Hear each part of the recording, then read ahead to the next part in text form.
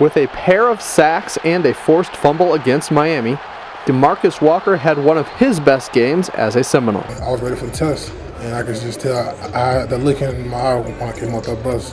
Uh, I'm ready to rock and roll. Walker's confidence comes from a dedicated effort to film study, a realization the junior made during the offseason. It was kind of like a maturing thing.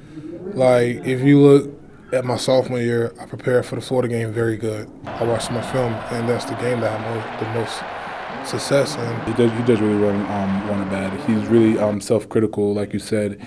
So if there's anything wrong with his game, he's going to try to really work on on the little things to try to create big plays, just like it's been showing up. Well, he loves everything about football. Team leader, team guy, not afraid to speak up to folks, works his tail off has really developed himself into a really, really good football and vers- very versatile in what he can do. And Walker has taken his film work one step further by watching one of the very best. I just want to be the greatest. Um, you know, just watching. I watch so much film on J.J. Watt. You know what I'm saying? I I, I could tell you his his best pass rush move. I could tell you how he how he you know takes on double teams. I can tell you how, like, you know, tackle blocking out, he, he's from the swim and just get flat down the line. I can tell you everything.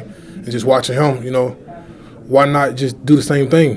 While duplicating the efforts of Watt may be impossible, Walker is certainly doing enough to consistently terrorize quarterbacks, giving the opposing team something to worry about during their own film sessions. Layne Herdt Seminoles.com.